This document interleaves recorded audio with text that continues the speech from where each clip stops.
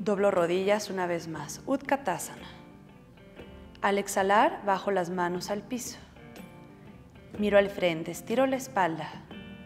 Chaturanga, el salto hacia atrás es opcional. Levanto el pecho, perro mirando hacia arriba.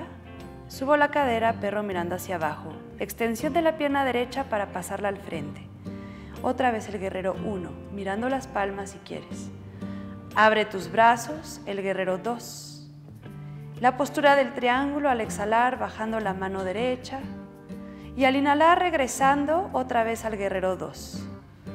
Bajando la rodilla atrás, regresamos a esa torsión, palmas al centro de nuestro pecho. Si quieres, puedes levantar tu rodilla del lado izquierdo. Hace la postura más intensa, lo haces inhalando. Regreso la pierna izquierda al frente, exhalo. Utkatasana, vuelvo a flexionar las rodillas, inhalo brazos arriba. Bajo manos, estiro piernas. Miro al frente, estiro. Paso el pie del lado derecho hacia atrás, postura del corredor. Mira al frente. Sube tus dos brazos al guerrero 2, abriendo. Coloco el codo del lado izquierdo sobre la rodilla del lado izquierdo. Aquí extiendo el brazo derecho en el ángulo lateral. Al inhalar, regreso los dos brazos y ahora estiro del otro lado el costado derecho. Pasa tu mano del lado izquierdo un paso al frente, procura tu balance, brazo derecho está arriba. Baja el pie derecho, pies juntos. Damos un pasito atrás para poder tener espacio y bajar la cadera hacia nuestros tobillos o talones. Aquí tus rodillas están abriendo, permitiendo que pueda pasar tu cintura entre tus piernas. Podemos bajar los brazos, los brazos están debajo de las espinillas, la cabeza está en el suelo o podemos intentar poner las manos al piso en un balance sobre nuestras manos.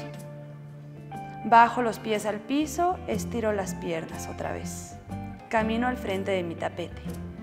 Voy a empezar con el otro lado, Utkatasana. Subo brazos, doblo rodillas. Uttanasana se llama cuando bajo al piso. Miro al frente, estiro, Chaturanga, cuando salto, puedo caminar y esa lagartija. Perro arriba, regresamos, perro abajo. Pierna izquierda arriba, pásala al frente. Levantando los dos brazos al guerrero 1, inhalo. Fluyo, guerrero 2, exhalo. Estiro la pierna del lado izquierdo, trikonasana, inhalo. Y regreso, flexiono rodilla, exhalo. Tomo una inhalación para bajar la rodilla del lado derecho y cruzando el codo izquierdo vuelvo a exhalar. Ahí podría levantar la pierna atrás, procurando el balance, poquito más intensa tu postura de aquí.